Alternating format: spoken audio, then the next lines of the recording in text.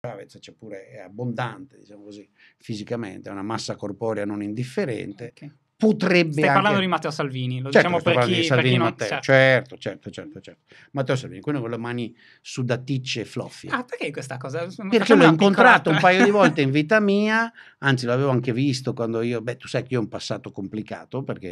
Ecco, Perché tu sei non- stato in Lega o comunque hai avuto Io sono stato il contatti- consigliere di Pagliarini eh, Ah. quando era ministro e ho cercato di dare una mano a quella parte di Lega che mi sembrava avere un cervello fra il 93, io sono uno che pensa che il federalismo sarebbe estremamente utile all'Italia, quindi tra il 93 e quando poi eh, quell'uomo di cui ho sempre avuto profondo disprezzo, cioè Umberto Bossi, decise, eh, decise di, eh, di fare quella follia di, di- di- mandare a carte 48 il primo governo Berlusconi e vendersi ad Alema, insomma, le follie del 95 che poi cercò di riparare inventandosi l'indipendentismo, io dissi mantieni i miei rapporti con, eh, con Giancarlo e alcune altre persone in Lega che erano delle persone per bene, però dissi vabbè ragazzi eh, non esisti, queste follie non ci sto. Quindi vedi il ragazzo circolare al tempo. Ok, quindi tu l'hai Lo rincontrai, sì, lo rincontrai dopo e quindi qualcuno mi raccontava chi era, eccetera, sai, la gente parla. Lo rincontrai dopo in un paio di dibattiti televisivi e quindi queste mani sudaticce e, e false da allora. Sono un ricordo vero, Matteo, cosa vuoi che ti dica? Che, Così che- sei. Che Eh, tipo lo è so Matteo che ti Salvini? dispiace.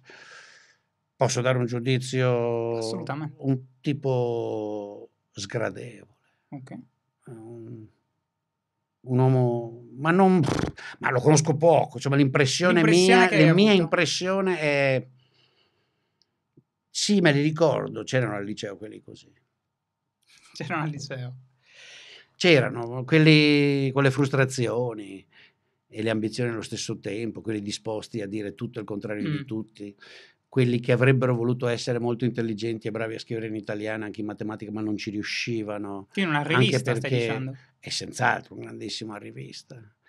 Infatti è una delle domande che mi faccio perché da quando oh, è diventato palese che, che- che questo governo si sarebbe realizzato ben prima delle elezioni, io l'ho scritto questo ben prima delle elezioni, Sì, sì, che anche io avrebbero un i rosso brunati, Mm. insomma le- l'espressione l'ho coniata allora. Uh, la mia domanda è sempre stata, al contrario di molti amici che hanno visto nel 5 Stelle La salvezza? No, il grande pericolo, no? Il grande Cioè, molti, pericolo, sì, ok. molti, il mondo nostro, mio almeno, no?